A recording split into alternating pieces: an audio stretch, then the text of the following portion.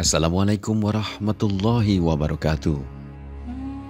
Makam Al-Habib Hamid atau yang lebih dikenal dengan Habib Basiri terletak di Jalan Keramat RT 13, Kelurahan Basiri, Kecamatan Banjarmasin Barat, Kalimantan Selatan.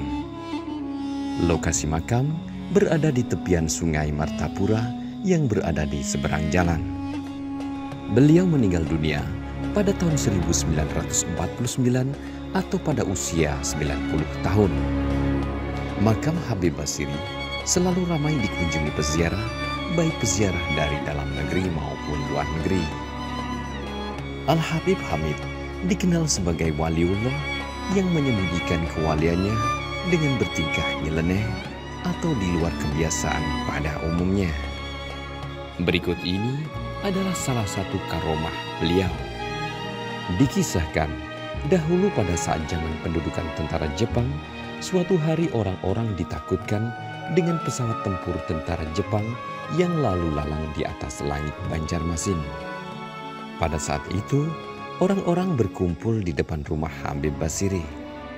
Di saat orang-orang sangat ketakutan, Habib Hamid pun mendatangi mereka. Kala itu, beliau mengambil sebuah kayu sambil melafalkan doa-doa. Setelahnya, kayu itu dirakit seolah menyerupai remote control. Sehingga pesawat tentara Jepang tersebut seperti dikendalikan oleh Habib Hamid diarahkan ke kanan dan ke kiri dan akhirnya ditabrakkan. Ada juga pesawat seperti hilang kendali dan akhirnya jatuh ke tanah. Wallahu alam bisawab.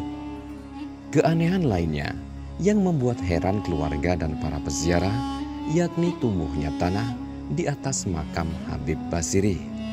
Tidak ada seorang pun yang bisa menjelaskan. Begitu juga soal bau wangi yang menyengat sering kali muncul dari area makam beliau. Sebutan Basiri diambil dari kata siri, di mana di sekitar rumah Habib Hamid dulunya banyak terdapat pohon siri dan pusat pedagang yang berjualan siri.